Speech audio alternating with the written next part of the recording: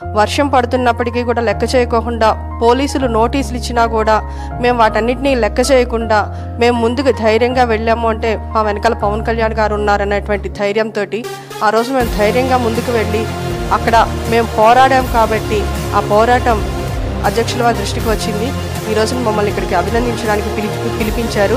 అలాగే ఫ్యూచర్లో వీర మహిళలు ఏ విధంగా ఉండాలి వీర మహిళా విభాగాన్ని ఏ విధంగా బలోపేతం చేస్తున్నాము అలాగే వీర మహిళలు మున్ముందు ఏ విధంగా పోరాటాలు చేయాలి దానికి తగినటువంటి సన్నాహాలు ఏంటి అనేది కూడా అధ్యక్షుల వారు త్వరలోనే నిర్ణయిస్తారని త్వరలోనే వీర మహిళలకి మంచిగా వర్క్షాప్స్ అవి కండక్ట్ చేసి మమ్మల్ని ఒక బలమైనటువంటి శక్తిగా బలమైనటువంటి రాజకీయ నాయకులుగా సమాజంలోకి తీసుకువస్తారనేటువంటి తీసుకొస్తారనేటువంటి ఆకాంక్షతో ఆయన త్వరలోని వర్క్షాప్స్ కూడా నిర్వహిస్తామని చెప్పడం జరిగింది.